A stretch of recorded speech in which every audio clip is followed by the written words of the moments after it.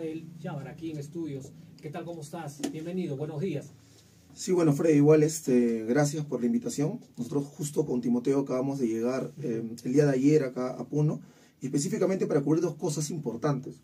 Lo primero es el tema de las víctimas de Juliaca del 9 de enero, ¿no? Este, los familiares, digamos, los afectados, realmente qué ha pasado, porque digamos que en la prensa limeña no se ha hecho mayor investigación a profundidad se ha tomado como algo más. Incluso se sigue con la narrativa de que si ha habido algún tipo de, pérdida humana es por culpa de los propios manifestantes o incluso gente que ha venido de Bolivia. Ese es el discurso que maneja no solamente la prensa, incluso la presidencia. Y por otro lado, el tema del paro del día de hoy, ¿no? en, los puntos principales que se vaya a desarrollar. ¿Te vas a reunir con los familiares en Juliaca? ¿Ya tienes una cita con ellos? Sí, felizmente con el presidente, ¿no? Raúl, su, su, millán, ¿no? que hemos estado contactando el día de ayer, el día de hoy también, entonces sí, tenemos ya un encuentro con él y de hecho vamos a ir en unas horas para allá porque van a manifestarse ellos con sus pancartas, digamos, con los puntos también reivindicativos que tienen, ¿no? Entonces eso es lo que nos interesa a nosotros como prensa alternativa. Entonces, venimos hasta a Puno justamente por ese tema principal. ¿Estás viniendo por segunda vez ya? Es la segunda vez. La primera también vivíamos con Timoteo Cutipa. Fue el 31 de diciembre del 2022, antes del 9 de enero. Entonces llegamos el 31 y estuvimos toda la primera semana, o sea, del, 31 al 7, donde se reinició el paro acá también en Puno. Fue contundente, total. Y como, bueno, veíamos que seguía avanzando y manteniéndose, decidimos viajar a Ayacucho y un par de días después nos enteramos pues de la masacre que había habido en, Puno. Y ahora, ¿cómo, ¿cómo estás viendo a Puno desde Lima? Que estabas ahí siempre viendo todo este panorama, toda esta crisis política. ¿Cuál es tu lectura de Puno desde allí? Bueno, para nosotros, como prensa alternativa y Achaiguasi, es el corazón de la lucha. Sabemos que, la fuerza, que la consecuencia, que la contundencia, que los puntos de claridad se han mantenido en Puno. O sea, desde el 7 de diciembre hasta la fecha de hoy, que estamos 30 de mayo, incluso justamente estamos en un paro eh, seco, como se, le ha llamado, acá en Puno. No en Piura, no este, en La Libertad, no en Loreto, sino en Puno. Entonces, la, visión es que los hermanos puneños son los que han resistido, los que están llevando la vanguardia de la lucha, eh, que incluso han, podido limar a perezas y las diferencias, digamos, culturales entre quechos y aymaras se ha podido unificar, ¿no? Entonces hay, esa esperanza, mire, el, pueblo en general tiene una, esperanza y, personalmente nosotros en las reivindicaciones que hay, además del tema pues de los recursos principales que se está jugando por el tema este, de geopolítica que es el litio, el uranio y el torio que hay acá en esta región. Entonces para nosotros es Puno eh, la, la punta de lanza de la lucha en el Perú ahora. Ahora, lo que están viendo es para el próximo 19 de julio ir a Lima. Eh, tú tienes contacto a nivel nacional. ¿Cómo está el norte, eh, digamos, la zona mm, nor, nor, este, selva, ¿no? La selva peruana. El oriente. El oriente. Vamos a ir a una pausa, vamos a seguir conversando de estos temas que quisiéramos captar. ¿Has estado, a ver, cuéntanos, ¿cómo, tienes una mirada de la macrosura, has estado por Cusco? ¿Cómo van las perspectivas? ¿Qué dice para el mes de julio que ha recogido de la población?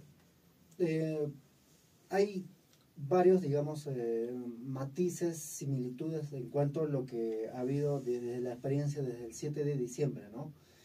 Recuerda que el 4 de enero hubo una manifestación, digamos, casi organizado, porque había coordinación con regiones para ir a Lima, pero resulta que, eh, pues, ha permitido también mm, tomar nuevas estrategias, ¿no? Es decir, debatir de lo que ha pasado del 7 hasta finales de abril, que subieron manifestaciones. Entonces ha habido encuentros en varias regiones. En primer lugar, ha habido, me parece, aquí en Puno, han retomado. Después en Andahuaylas, Apurímac, me parece.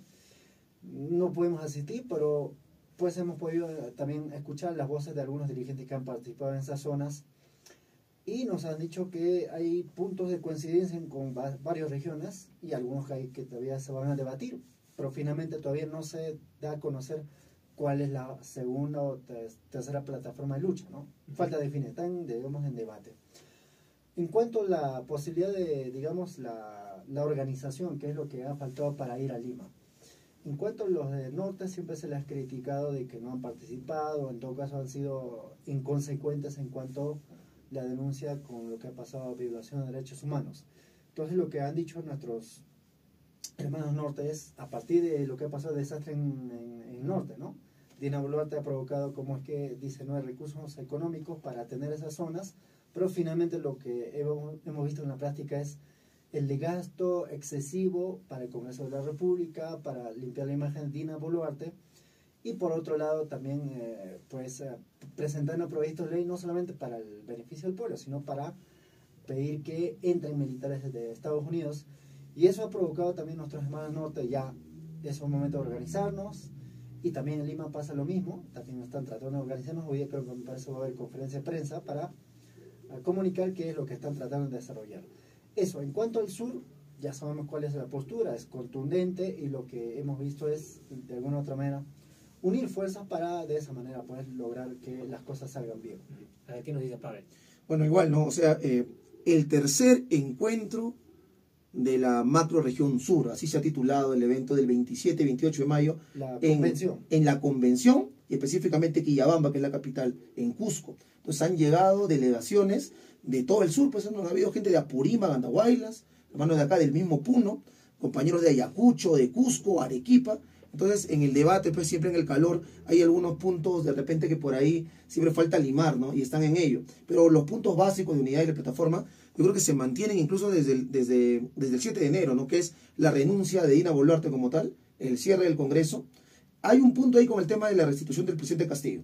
Ahí yo voy a ser claro y que está, en debate, ¿no? Porque no, no es de repente un punto de que unifique al conjunto de los hermanos movilizados en el país, pero sí, por ejemplo, el, el hecho de, de verlo como un preso político y lógicamente pues es libertad para el preso político, ¿no? Dentro de todo ello. Entonces, em, lo, lo que se, lo que se ha planteado es esa, ese, ese encuentro, esa reunión, y bueno, siempre llevando pues este, esa posibilidad de, de un cambio, ¿no? Pero lo que pasa es que estos últimos meses también han habido mm, respuestas internacionales del... De eso quiero preguntarte. Ah, bueno. ¿Tú cómo has percibido este, no, el impacto, ¿no? el impacto en las autoridades, en DINA, eh, Ejecutivo, Legislativo, eh, Fiscalía, Poder Judicial, estos informes que han sacado la Corte Interamericana de Derechos Humanos, ONGs, eh, este, Amnistía Internacional, ¿realmente ha sido contundente estos informes en el gobierno o es que este, lo toman a la ligera? ¿Cómo- cómo- ¿Y qué efectos va a tener posteriormente? Claro, hay que, hay que, bueno, tener claro primero que hay organizaciones pro derechos humanos, defensoras, que tienen un respaldo y un reconocimiento a nivel internacional porque han sido objetivos, porque hablan con pruebas, ¿no? independientemente de cuestiones y apasionamientos ideológicos. Pero este, no tienen, digamos, una repercusión vinculante con la jurisprudencia nacional, como por ejemplo Amnistía Internacional. No se le reconoce a Amnistía Internacional como tal a nivel mundial. ¿no? Eh, por ejemplo, también está la Brigada de Solidaridad de Argentina que ha venido, también se le reconoce, ¿no? Está de Human Rights, se le reconoce a nivel internacional, pero lo que ellos puedan plantear, proponer, decir, que el Estado acaso, pues, no hay mayor vinculación jurídica, salvo, y ya lo mencionabas, la Comisión Interamericana de Derechos Humanos, la Corte Interamericana de Derechos Humanos y, eh, lógicamente, pues, este, la ONU. El Porque, porque Perú, el Perú está adscrito a esas organizaciones. Eh, pero hay, un- hay un punto que ver, ¿no? Hay una diferencia en lo que es eh, el Comité de Derechos Humanos de la ONU. Ellos asumen pues, que ha habido este, matanzas, ejecuciones extrajudiciales, asumen de que eh, la vacancia de Pedro Castillo ha sido irregular. Esa es la recomendación que han dado como Comité de Derechos Humanos de la ONU. No la ONU, sino el Comité. Ahora, luego ahí está, la Comisión Interamericana de Derechos Humanos que pertenece a la OEA. Entonces, esa comisión prácticamente no ha hablado del tema de Pedro Castillo y si el que ha mencionado lo ha, ha dicho que ha habido un, eh, una ruptura, Ruptura. un rompimiento constitucional, o sea, como diciendo, bueno, lo que ha hecho Pedro Castillo pues es un golpe de Estado, ¿no? Eso es el planteamiento de la comisión. Pero en referencia a las matanzas, ha dicho eh, tácitamente, este, perdón, literalmente, ha habido masacre en Ayacucho, han habido ejecuciones extrajudiciales en Puno, se ha violado derechos humanos como tal. Ahora, esta comisión ha mandado recomendaciones al Perú, ¿no? Ha dicho ya, de una vez tienen que eh, buscar quiénes son los culpables, hacer el debido proceso, eh, se tiene que investigar. Yo incluso tuve la oportunidad, Freddy, de participar cuando esa comisión leyó el informe. Que lógicamente, digamos, la prensa hegemónica lo, bajó, lo silenció como para que el pueblo no esté la expectativa. Fue en la mañana, 9 10 de la mañana. Entonces, la Comisión Interamericana de Derechos Humanos leyó el informe y luego dijo, preguntas. Y había pues, este, periodistas de los medios hegemónicos, ¿no? Estaban de ATV, de Latina, y hubimos unos pocos de prensa alternativa, incluyéndome, ¿no? Entonces, ahí fue la pregunta que yo le hice tajante, ¿no? Sobre el tema de Pedro Castillo. Si ellos vienen por el tema de derechos humanos, bueno, el presidente pues está, está secuestrado. Y sus derechos, digamos, de libertad, de presunción de inocencia, han sido vulnerados. y no contestaron absolutamente nada. Entonces, creo que por ese lado, el tema de la comisión, por el tema de Pedro Castillo, en concreto, nada, silencio. Pero por el otro lado, de la masacre, matanza, persecución, encierro y proceso que se ha abierto, como para amedrentar a la población, sí ha tenido una, una postura clara. Ahora, lo que Dina Boluarte hace, pues, es también triquiñuelas y artimañas, ¿no? Por ejemplo, dice, sí, ya, ya nos hemos encargado del tema eh, de los oficiales que han operado en esas zonas. ¿Y cómo se han encargado? Simplemente cambiándolos de puesto. Pues. Los han rotado. Los han rotado. Esa es su, su, solución. Ahora, lo otro es que a ella se le ha acusado porque ella es la jefa suprema de las Fuerzas Armadas y Policiales. Entonces, lo que corresponde es que ella vaya a declarar. Y esa, esa declaración, mira, eso ha pasado, la primera, el 15 de diciembre en Ayacucho. 9 de enero. Estamos enero, febrero, marzo, abril, mayo. Pasado mañana es junio. No declara nada hasta ahora. Entonces, ¿dónde está la, la, la presión de parte del Ministerio Público? Que fue el que persiguió, por ejemplo, ¿no? el régimen de Pedro Castillo, pero Dina Boluarte no hay absolutamente nada. Entonces lo que estamos viendo es, y para terminar ahí, otro punto, un, un, una suerte de sometimiento y de buscar la manera de, de, de servir a, a, a, los organismos donde la OEA tiene su sede. La OEA tiene su sede en Washington, la ONU en Nueva York, Estados Unidos. Y hace un par de semanas, Dina Boluarte ha presentado un, un proyecto de ley para permitir el ingreso de tropas norteamericanas con armamento de guerra al Perú durante seis meses. Y este Congreso, que nunca le aprobaba nada a Pedro Castillo, le ha aprobado sin chistar, sin debate previo. ¿no? Entonces, ahí uno me dice, ya, eh, Dina Boluarte está en este plan de, prácticamente someterse eh, a Estados Unidos.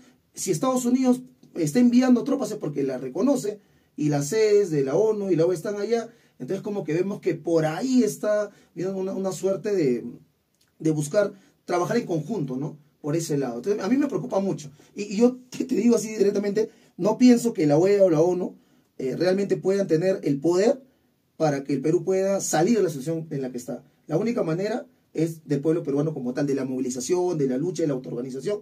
Y lógicamente, si estos organismos internacionales pueden aportar en algo, a buena hora, o sea, nosotros tampoco no nos negamos, pero la, la, la emancipación del pueblo peruano debe ser obra del pueblo peruano mismo.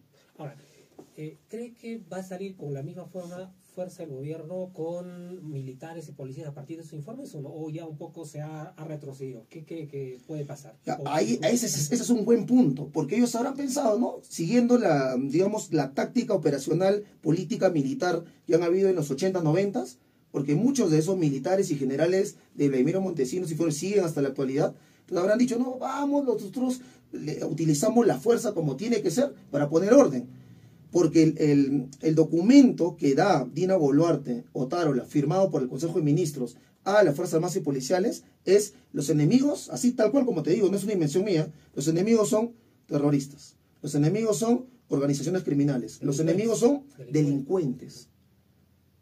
Y las Fuerzas Armadas con, con esa directiva, dice, ¿ya cómo tratamos a un terrorista? Pues que viene con armas, que te viene a poner un coche ¿Cómo tratamos un, una organización criminal? Tenemos que ir con toda la fuerza, toda la maquinaria sin, este, sin asco. Entonces, eso es lo que, lo, lo que ha habido. Pero, como, lo, como mencionamos, como ya se ha salido a la luz todos esos documentos, esas declaraciones, está New York Times ha venido, cuántas organizaciones internacionales se han mostrado, y, y, y importante también el papel de la prensa regional, prensa independencia, prensa alternativa, que han mostrado las atrocidades que hasta el día de hoy se sigue sufriendo, porque hay muchos heridos que hasta el día de hoy están hasta agonizando, o, haya, o que han quedado hoy en una situación, pues, este, in, in, incapacitados en alguna parte de su cuerpo, hasta mentalmente. Entonces, pienso yo personalmente que tanto ellos se han dado cuenta pues que no pueden seguir acribillando, matando quemarropa como si fuera este, guerra, porque ni siquiera, bueno, en una guerra hay dos, dos este, ejércitos, esto ha sido masacre. Y, y por otro lado también se, da, se dan cuenta que lo, los vedores eh, estamos ahí atentos, no estamos viendo lo que está pasando. Y aparte que el pueblo también ya aprendió. ¿no? Ya se dio cuenta cómo tiene que trabajar, cómo tiene que actuar, cuál va a ser la manera de cómo, este, y las brigadas también de salud que pueden haber y todo ello. ¿no? Entonces, entonces pienso que la, las próximas luchas tienen que ser contundentes, tienen que darse en Lima. Y por otro lado, Dina Boluarte se va a tener que cuidar como sea. Y también los mismos militares, porque Dina Boluarte en varias ocasiones ha dicho, yo no tengo la culpa, yo solamente dije que pongan orden y los, no tengo ni siquiera capacidad de comando, ha dicho todavía, ¿no? Soy, completamente soy presidenta, pero no tengo el comando. Uh -huh. Entonces, lo, hay muchos militares que también ellos dicen, ¿no? O sea, yo no voy a morir, no voy a, este, perdón, estar en un proceso de violación de derechos humanos por Dina Boluarte, pues, ¿no? Entonces, ahí también hay una contradicción entre las mismas fuerzas eh, de arriba, ¿no? Del poder. No, el problema, al principio, Dina Boluarte, en cuanto a informe de los derechos humanos de varios organismos, ha tomado la ligera, ¿no? En primer lugar, eh, este Human Rights Watch, me parece, dijo que era un ONG, ¿recuerdan? Sí, sí, es lo que... Minimizó y después cuando ya vino CIDH y ahora último de Amnistía Internacional como que ya pues no, o sea, la, la realidad cae por su propio peso y Dina Boluarte ahora última ha conformado un equipo de jurídico de constitucionalistas para seguramente defenderse de lo que se le señala de haber violado derechos humanos. Hace poco este organismo internacional que se llama Amnistía Internacional ha lanzado cinco puntos que son, digamos, vamos a decirlo en forma mm, general, contundente, eh, demoledor, devastador, podemos decirlo, porque ha habido testimonios que han recogido de cada una de las víctimas y también de los familiares y de qué manera incluso la han agredido personas que no tienen que ver nada con las protestas. Bueno. Hay algunos testimonios aquí en Puno que ah, habían ido al mercado, algunos habían ido a, la a estudiar, regresaron a la casa y por, por naturalmente por curiosidad se quedaron a mirar y la policía los disparó. Esas informes se ha señalado por otro lado que son como que han violado, digamos, leyes internacionales. Entonces, no va a ser para nosotros sorpresa que va a repetirse como lo que pasó en la época de Fujimori. Es decir, Fujimori negó en todo momento que tenía responsabilidad de haber violado derechos humanos en caso de la Cantuta, caso de Barrios Altos, pero finalmente fue sentenciado a 25 años de cárcel por ser parte de, eh, como jefe supremo de Fuerzas Armadas, y de no haber hecho nada para evitar que suceda lo que ha pasado. En cuanto a Dina Boluarte, seguramente pasa lo mismo. Y lo que hemos visto es, eh, por otro lado, mm, la desesperación tal es, es una señal también, como es que Dina Boluarte invierte dinero, buena cantidad de dinero, a consultores internacionales como para Estados Unidos y Europa, más de 3 millones de soles, ¿no? O dólares, me, me estoy confundiendo. Entonces es una señal que la señora Dina Boluarte está muy desesperado y vamos a ver de qué manera va a hacer, eh, digamos, el tratamiento a las manifestaciones que se van a, proyectar para el día, ah, digamos, mes de julio.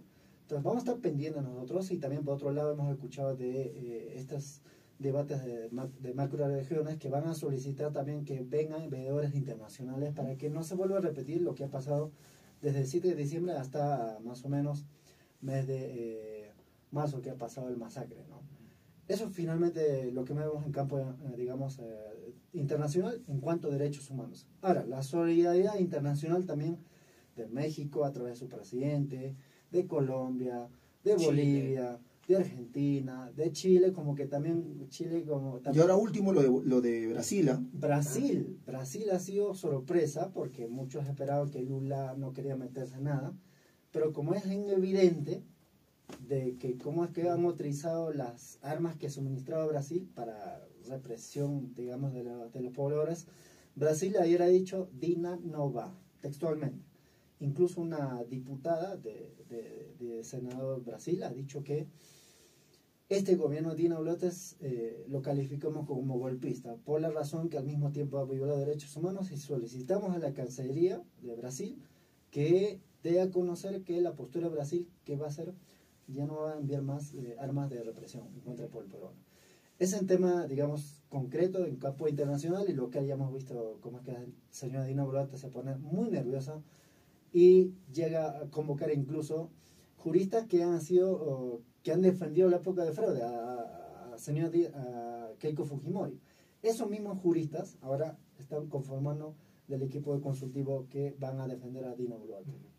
Pavel, te dejo en la parte final. Eh, Siempre es un gusto tenerlos aquí y abordar estos temas así, al, al yugular, ¿no? Sin, sin medias tintas, como dice. Para cerrar. Sí, Claro, no, bueno, igual, es un gran saludo acá a los hermanos de, de Pachamama Radio, TV. Yo, yo sigo bastante el canal, Sí. a nosotros allá desde ¿Ya Lima. recuperaste tu Sí, sí, felizmente Ah, sí se recuperó, bueno, estamos ahí en esa lucha y tenemos una referencia muy, muy buena, ¿no? De- de- del trabajo que hacen. Así que felicitaciones, este, Vuela Radio, acá también a ti, Freddy.